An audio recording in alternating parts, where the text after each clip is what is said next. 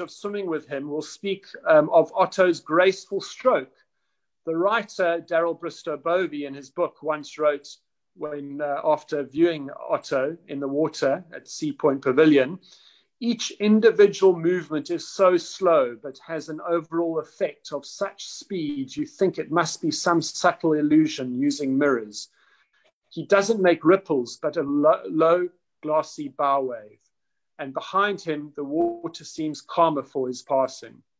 So, to speak to us about graceful strokes and a number of other interesting topics, I'd like to introduce and hand over to Dr. Otto Thaning. Hi, Otto, how are you?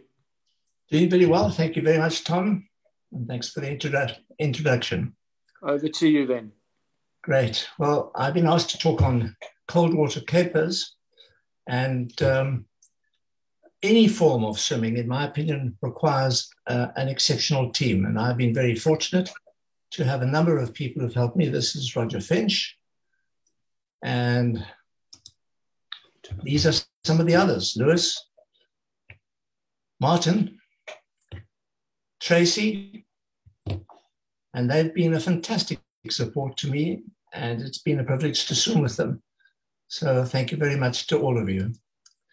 Um, in discussing this, um, I wanted to make, as, make it as simple as possible, and I've divided it into four compartments.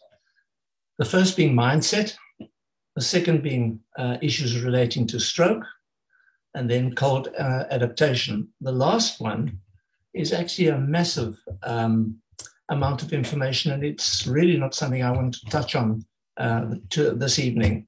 Um, it'll be a great talk um, at a later stage. So we won't, other than mention the importance of it, uh, but we won't go into detail.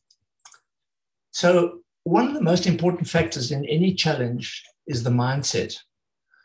It doesn't come down to who has the most talent or intelligence. It comes down to who's willing to make the choices that others are not willing to make. In other words, at five o'clock in the morning, whilst others are asleep under their duvets, you're out there training.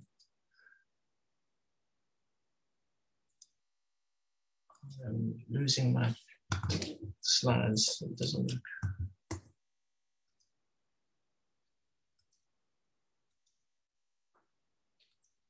It's the first time. Okay, so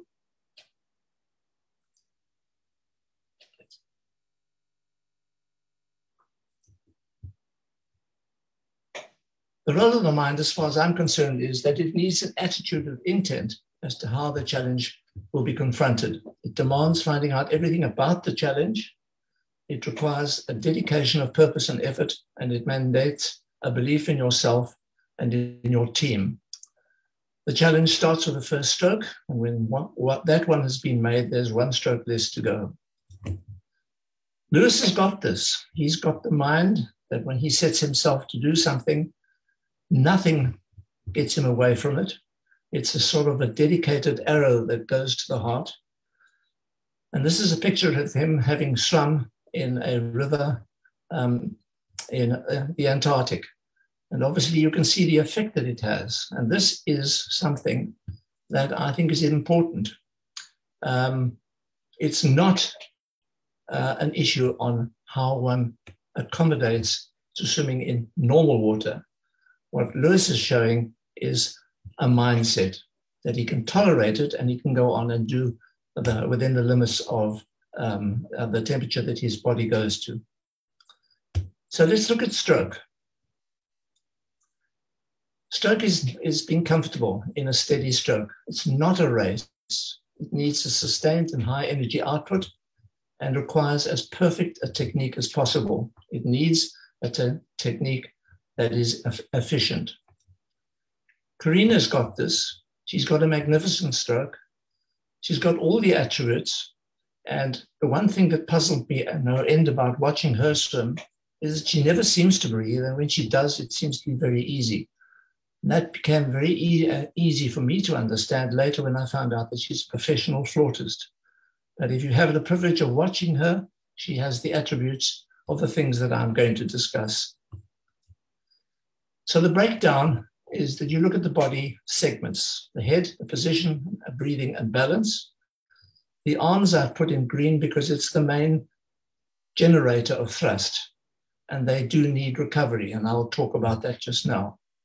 The trunk basically coordinates balance and connects the legs to the thrust generators, which are the arms, and the legs give you minimal thrust in open water and long distance swimming, but is crucial for body balance.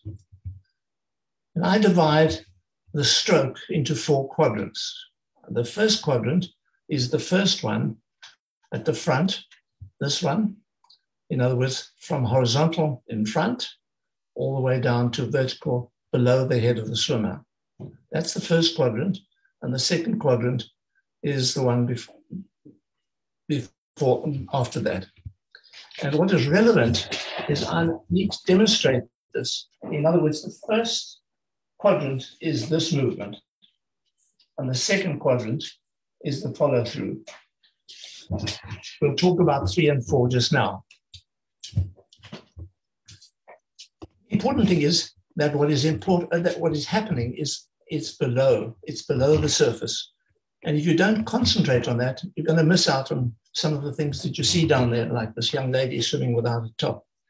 You have to concentrate under, uh, on, on the underwater side. The most significant joints in swimming are the shoulders. They take the most stress and generate the main propulsion. The shoulder joint has the biggest range of movement, but they need to be very flexible, and that's very important. And it's very important to look as to what I mean by be, being flexible. I don't know if you can still see me. Obviously, the range is tremendous all the way up and down and the side. But what is really important is this is rotation of the shoulder. In other words, the shoulder joint is doing the rotation, the arm's just waving because of it. And that's something that's very important to understand what the range of movement is about. So the shoulder joint has the biggest range of movement, but they need to be very flexible.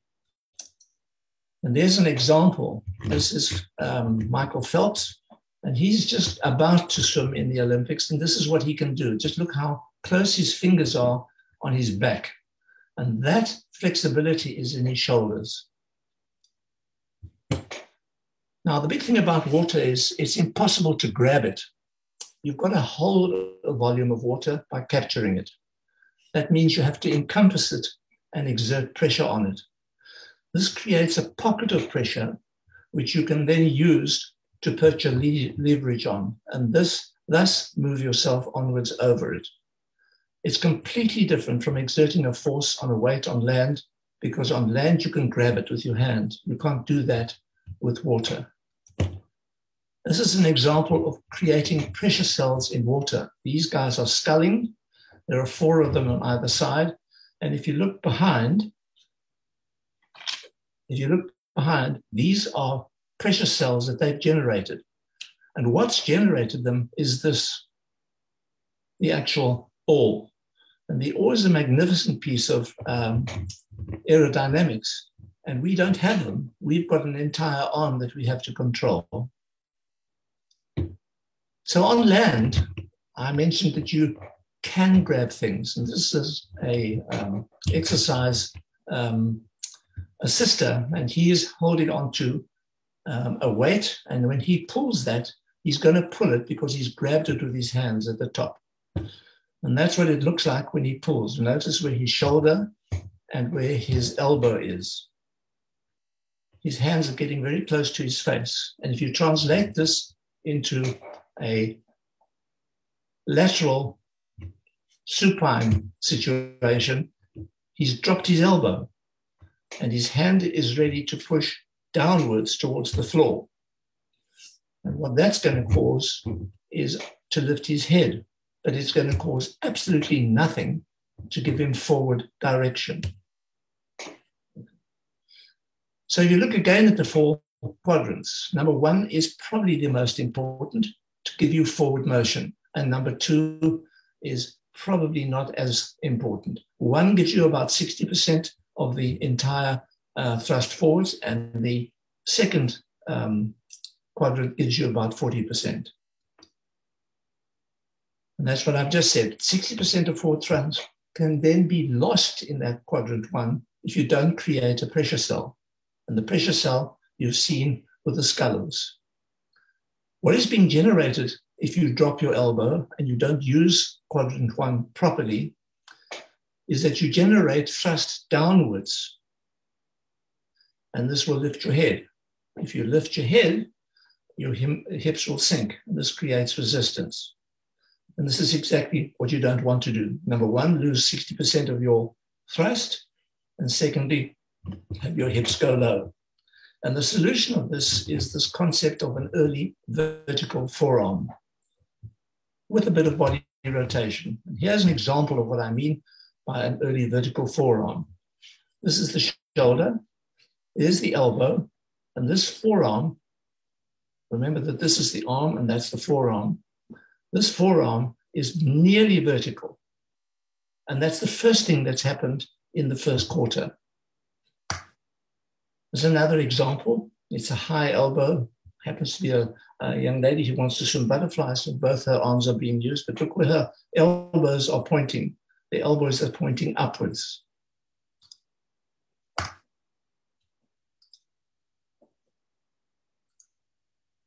Here's another example. And this almost looks as if she's got a dislocation somewhere. But what she's got is fantastic purchase which started when the water, when her hand was fully out in front of her and is now nearly vertical. This is early uh, vertical forearm, and this is Ian Thorpe.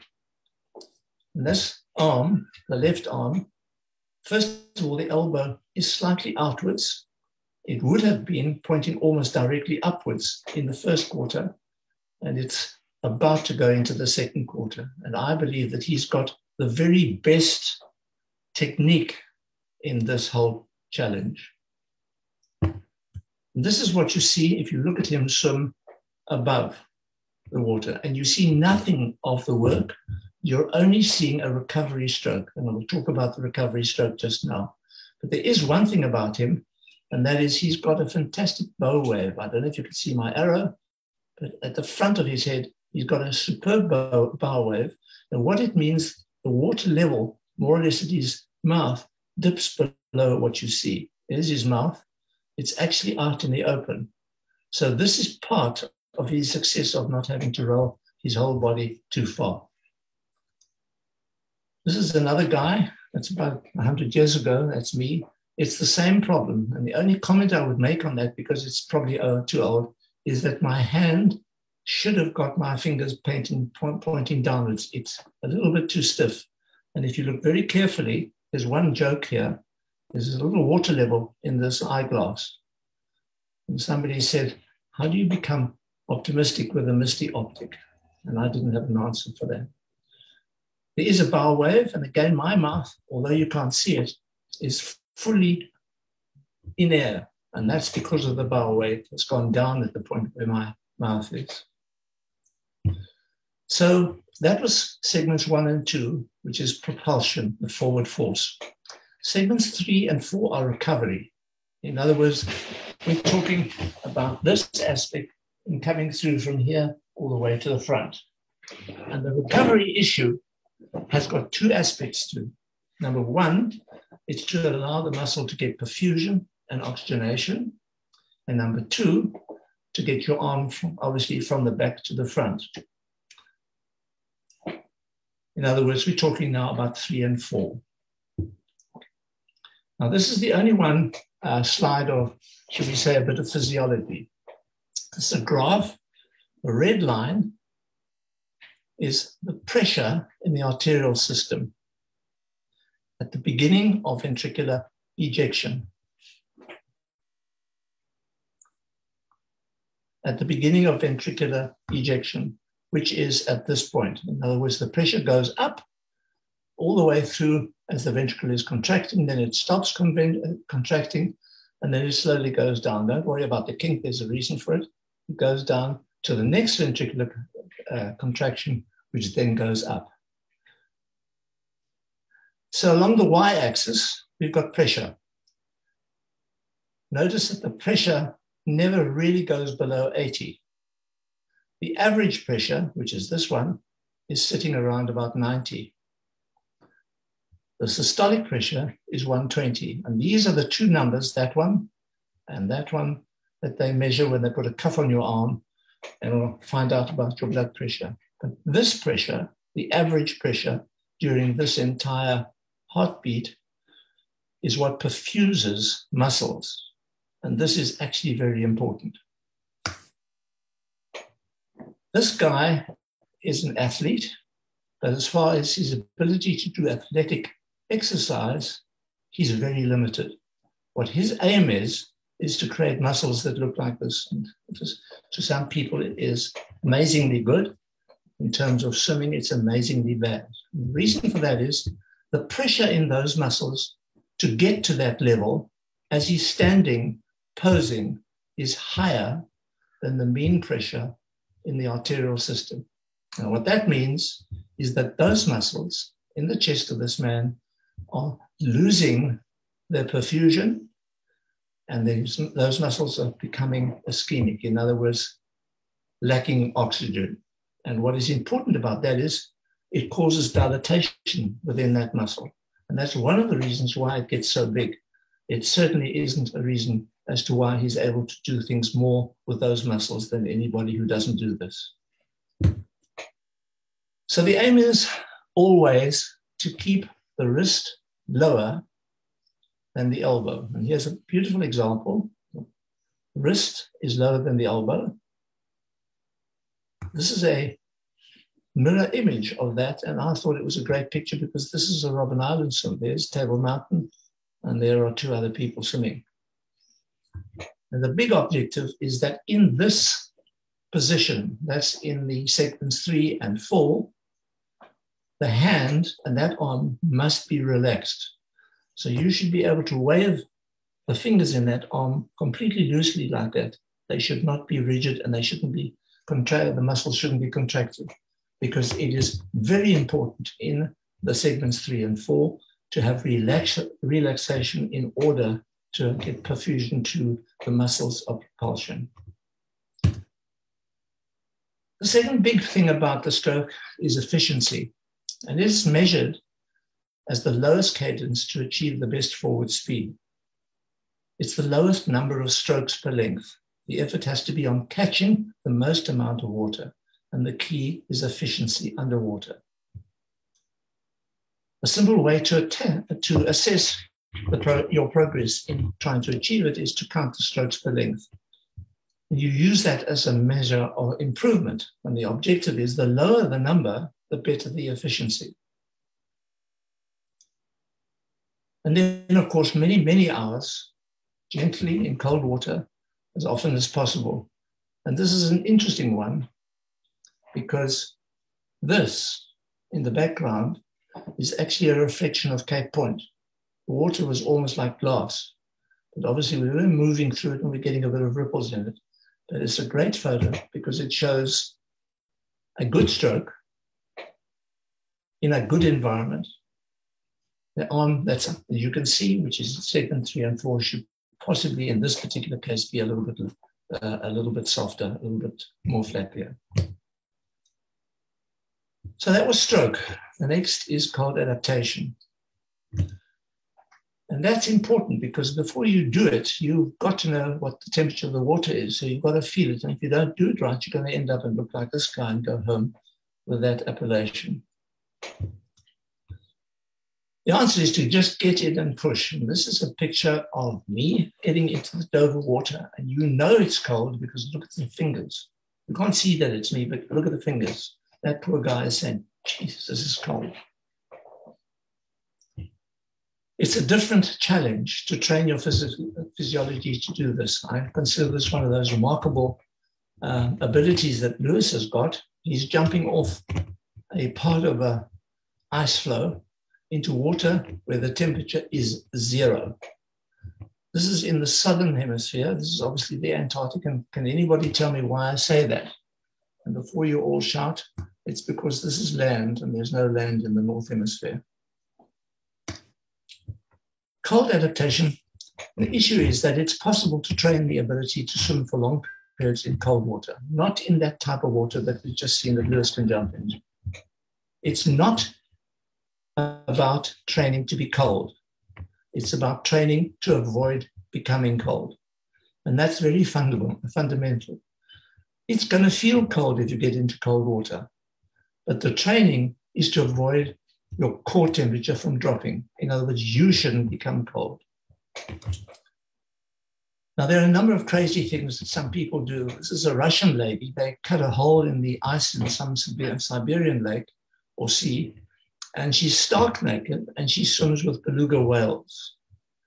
And she does it in this way. I had to go very carefully through the slides that I was going to select to get one that I could present without being too, so we say, below the belt.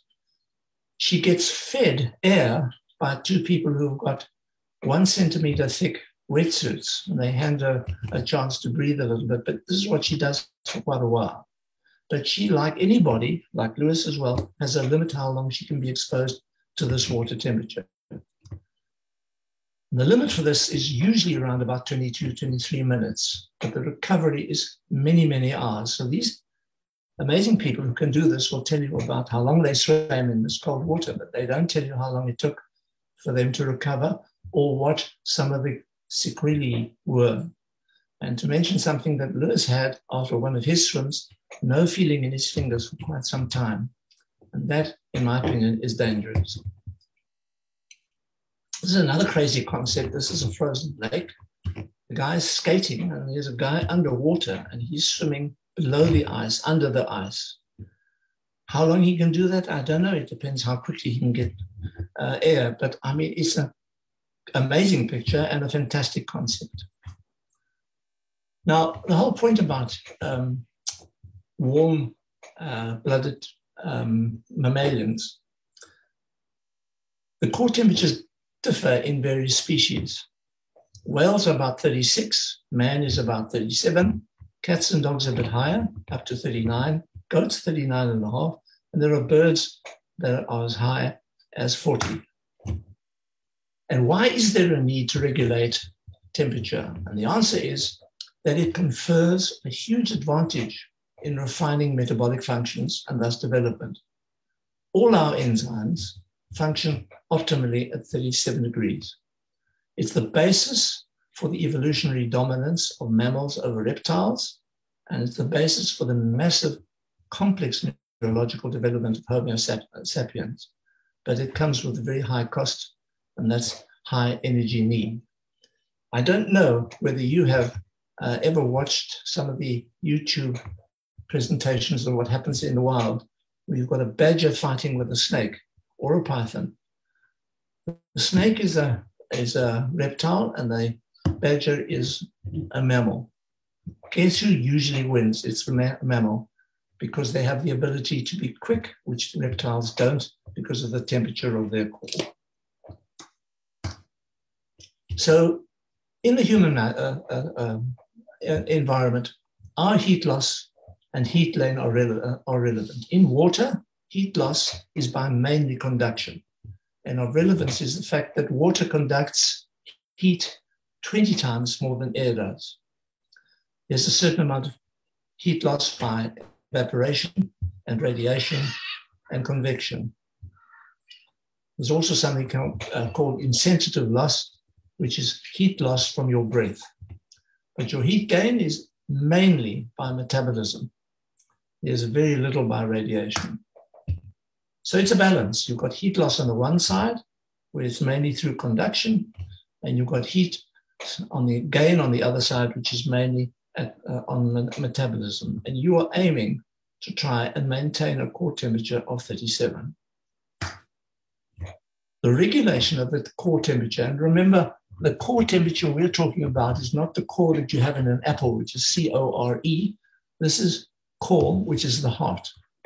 And if you want to know what your heart temperature is, the best way of doing that is to pass a rectal probe fairly deeply. And not many people are doing that, and that's why we don't have a lot of studies on it. But uh, it's, it's important. Regulation of the core temp is through the autonomic nervous system. And it's an automatic process which is governed by this governor in the brain in the hypothalamus. So, what's the secret to cold water acclimatization? It is intense training of the autonomic nervous system. It has to be on a regular basis.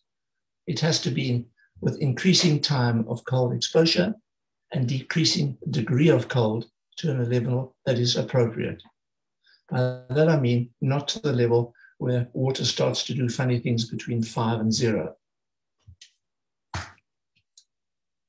The objective is to train the autonomic nervous system to reduce heat loss early, and that's very important.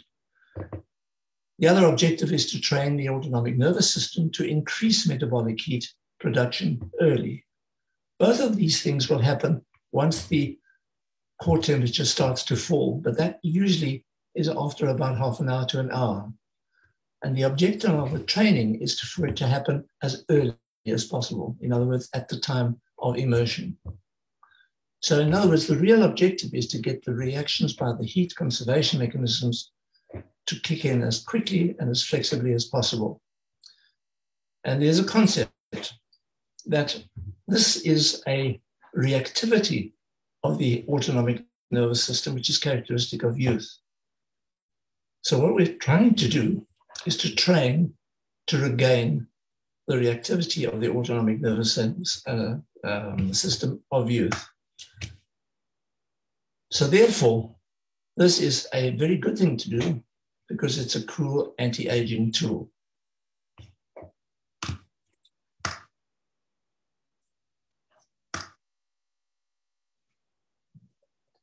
Hang on, sorry.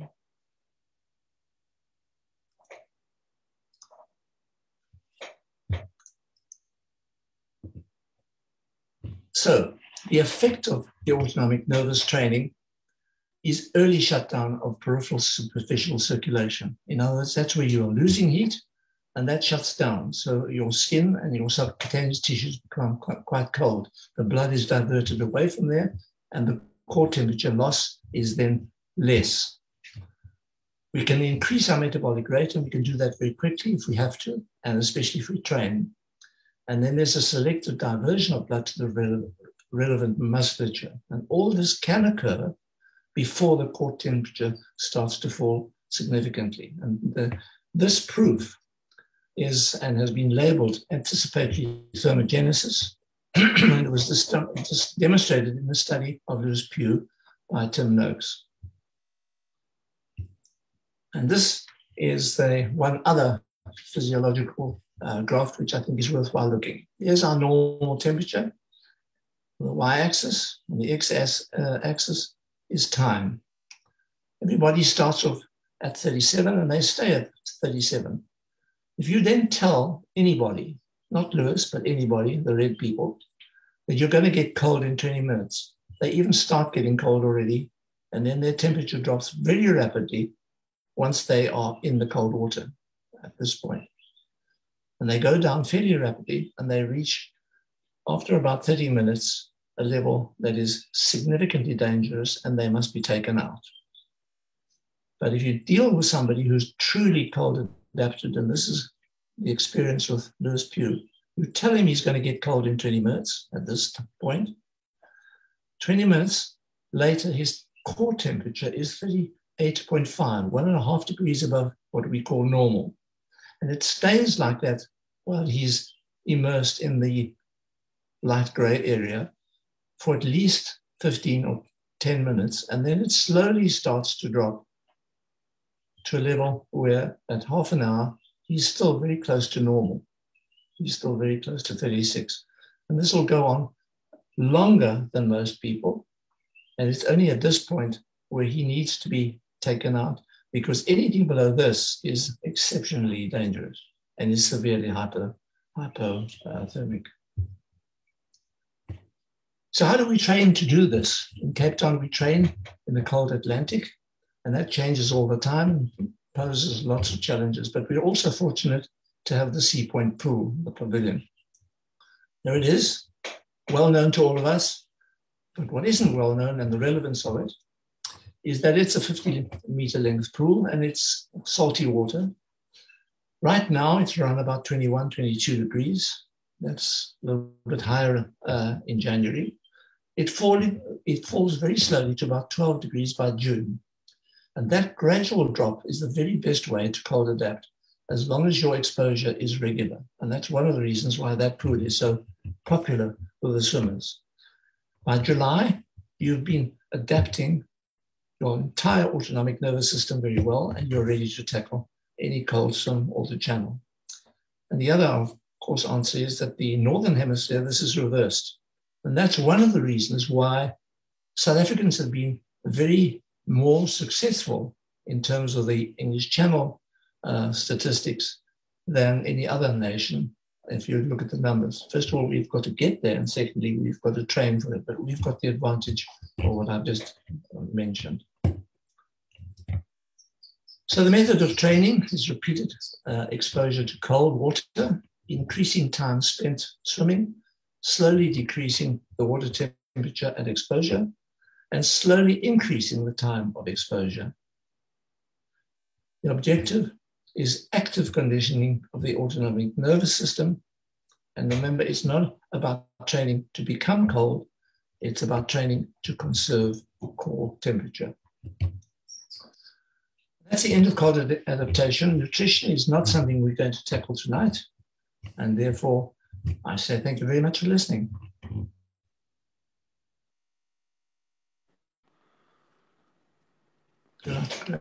Thank, thanks, Otto. Thank you very much. Uh, that was very, very insightful. We've got a couple of questions, if you don't mind staying on for a little bit longer. No problem. Um, so, uh, the, the first question was Do you have any tips for recovery when you're training for a big marathon swim? Recovery of, of cold or recovery in between swims? Well, um, recovery, I think, from from the cold as well as uh, you know muscular recovery as well. Hmm. My opinion is that it is important to train to be to to get into cold water, and as I said, the training should be progressive in terms of dropping temperature slowly and time spent in the cold water.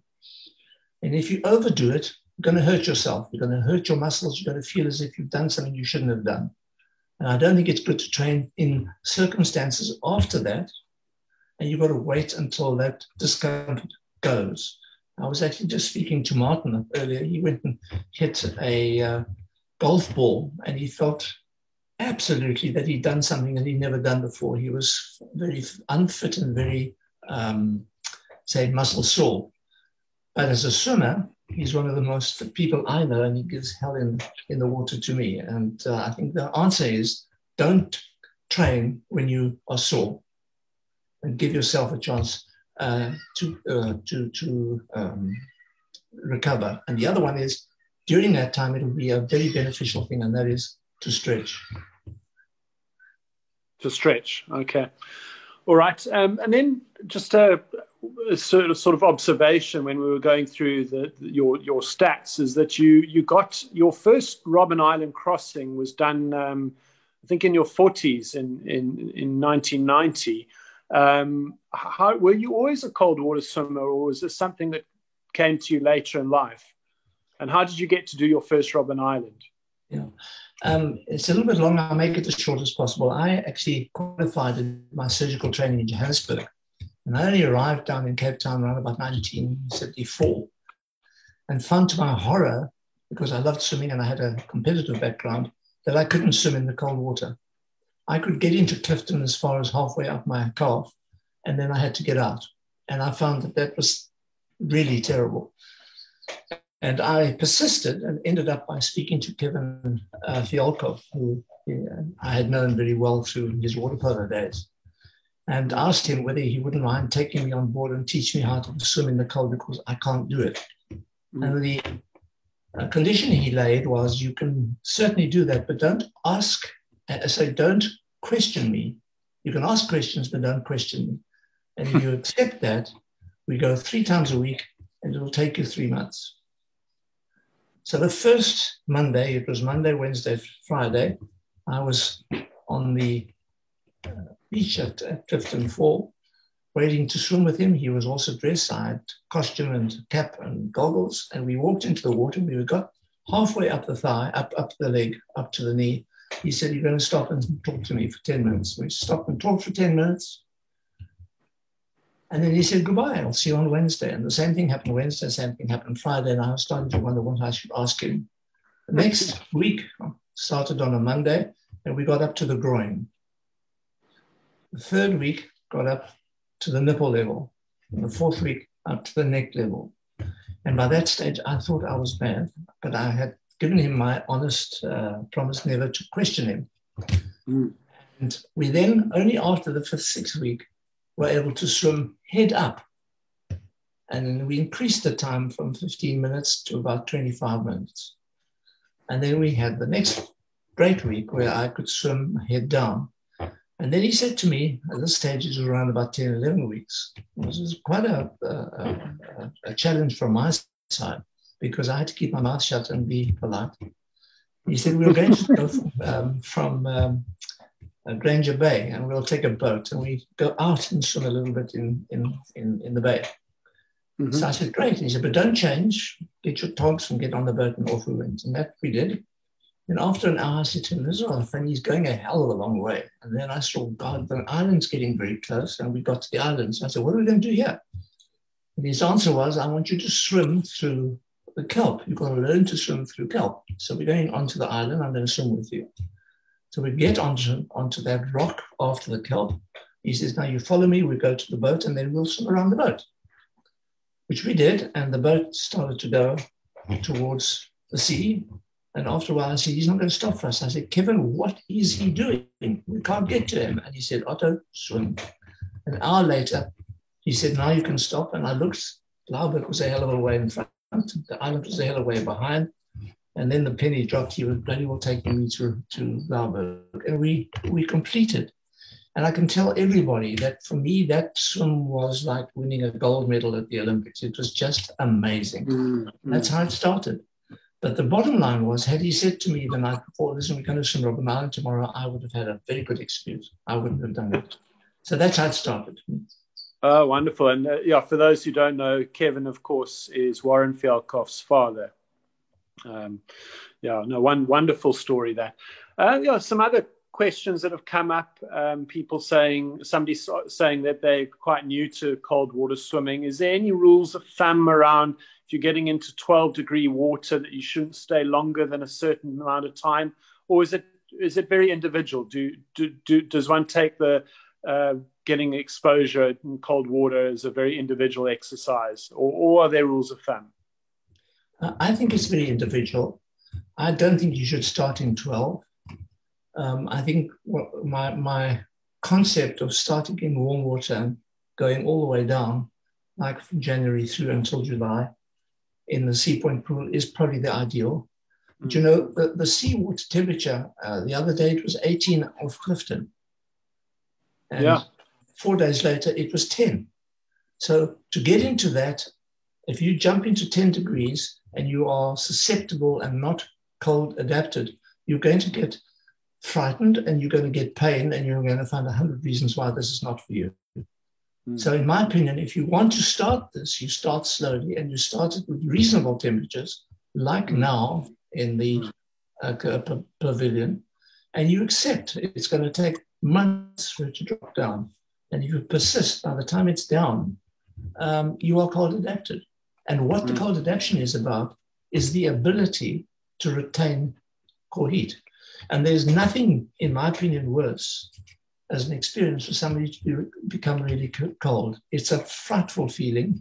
You have no control, you lose your mind, and you lose your muscle ability. And it is frightening. Mm. And those people say, This is not for me, it can't be done.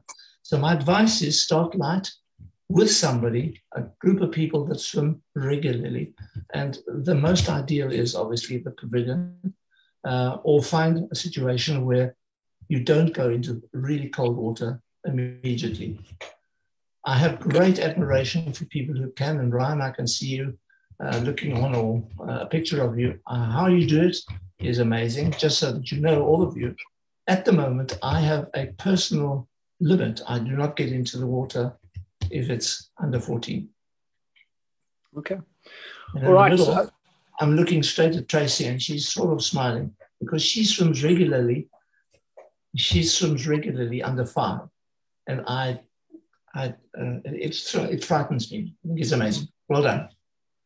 Right, Otto. I think we've run out of time. Thanks for everybody for joining us. Thank you so much for your insights, your wisdom, and your uh, your passion and your motivation to all of us. Uh, yeah, I think you the, the number of people that you've touched over the years, I think, is uh, is countless. But thank you very much, Otto, for uh, for putting this together and spending your time this evening sharing uh, all this insight with us.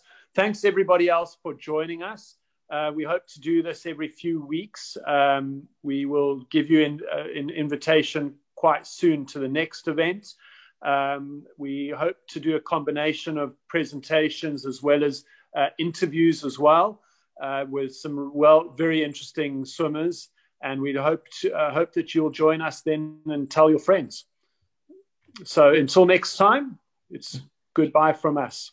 Thanks very much. May I just have a word just to say thank you to everybody who watched, but especially those who are not members of the CLDSA. It's a great organization. Please join it. Thank you, Otto. Thank you very much. Thank you. Okay. Okay. Bye.